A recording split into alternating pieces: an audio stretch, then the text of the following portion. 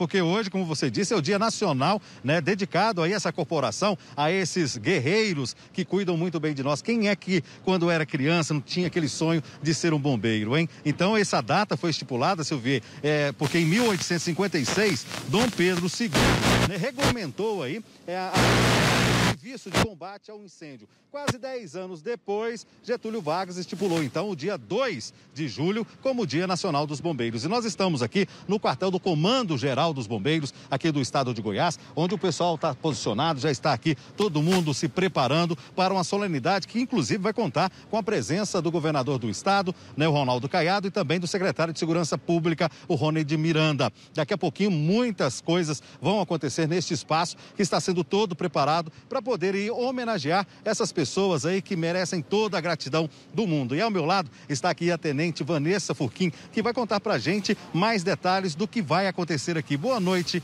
tenente. Muita expectativa para o dia de hoje, né? Exatamente. Boa noite. Boa noite, Silvier. Boa noite a todos que assistem ao Cidade Alerta. De fato, é uma noite extremamente é, esperada pelo Corpo de Bombeiros Militar do Estado de Goiás, onde é um, uma noite onde nós vamos homenagear pessoas que prestaram serviços relevantes à nossa corporação, que têm contribuído com todo o nosso trabalho, oferecido um suporte e apoio a todas as nossas ações aqui no Estado de Goiás. Além de homenagens que vão acontecer para alguns oficiais, tem também novidades, né? Investimentos que serão feitos na corporação. Exatamente. Nós estamos contabilizando aí um investimento em torno de 4 milhões e 500 em viaturas, em materiais operacionais, tudo isso para atender melhor a população goiana. Eu vou pedir o meu cinegrafista, o Cleito, para mostrar ali o telão onde está sendo ali reproduzido um vídeo, né, que vai ser mostrado inclusive durante a solenidade, mostrando algumas ações da corporação. Em 62 anos, vamos reviver aí alguns momentos marcantes onde os bombeiros foram fundamentais. Exatamente. O que a gente pode observar é que o Corpo de Bombeiros vem oferecendo para a sociedade goiana um trabalho muito pautado em competência, em conhecimento técnico. E a gente pode então trazer várias situações. Relembrar em 1987 nós tivemos o acidente com o Césio 187. Inclusive foi o maior acidente radioativo do Brasil e do mundo ocorrido fora das usinas nucleares. E nós temos até hoje bombeiros que sofrem até mesmo sequelas em consequência da atuação durante a ocorrência do Césio 187. Teve aquele incêndio também, né, no Palácio Pedro Ludovico. Exatamente. No ano de 2000 nós tivemos esse incêndio. Nós, é, a nossa corporação atuou incessantemente nessa ocasião no Palácio Pedro Ludovico Teixeira e de fato foi uma experiência muito marcante para nós. Tenente, agora os bombeiros de Goiás também são referência para todo o país, né? Exatamente. Nós temos oferecido na nossa corporação diversos treinamentos, inclusive pessoas de fora, dos corpos de bombeiros de outros estados, têm vindo para a nossa corporação aprender conosco, sem contar também que a gente tem saído, tem ultrapassado os nossos limites territoriais. Nós atuamos em Brumadinho, lá em Minas Gerais. Os nossos bombeiros estiveram presentes lá naquela tragédia que com certeza ninguém vai esquecer, né? Desde criança, o sonho era ser bombeira?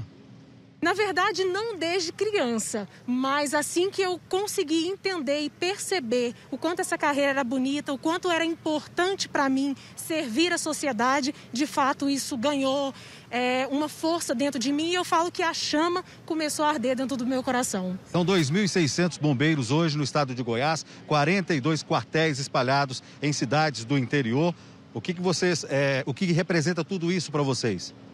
Para nós, na verdade, isso é um, um momento único para nós, onde nós podemos trabalhar é, os nossos valores, trabalhar aquilo que nós temos de melhor para oferecer para a sociedade. E para nós, sem sombra de dúvidas, é uma oportunidade de compartilhar com a sociedade aquilo que nós temos de melhor que é a nossa dedicação e, claro, o nosso dever e o nosso papel de vidas alheias e riqueza salvar. Olha, eu tenho certeza que o pessoal de casa entendeu, mas aqui foi um barulhão. A gente quase não escutou o que a senhora está falando, porque o pessoal está naquela fase, Silvia, né, de testar o som para que tudo saia de acordo com o que foi programado, porque sim. eles seguem uma, uma, uma regra muito rígida. Inclusive, eu queria não sei se dá para mostrar aqui no chão, o Cleiton, né, a marcação que está sendo feita aqui das pessoas que serão homenageadas. E o pessoal estava aqui agora há pouco, é milimétrico, né? O espaçamento de um para o outro, porque é uma cerimônia muito bonita, muito organizada.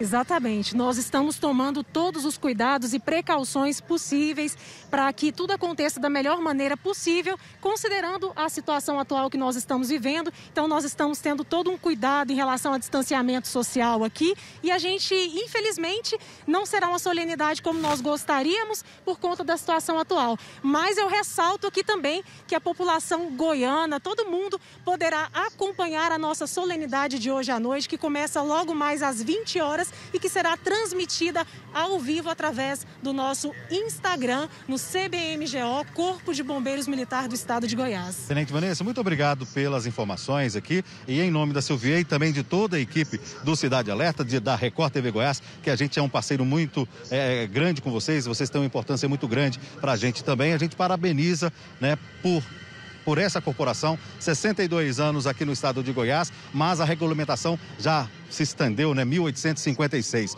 Então, quando o Dom Pedro é, estipulou aí o serviço de combate a incêndios, que era muito precário naquela época, e hoje a gente conta com maquinários enormes, né, coisas espetaculares para salvar vidas. Silvia.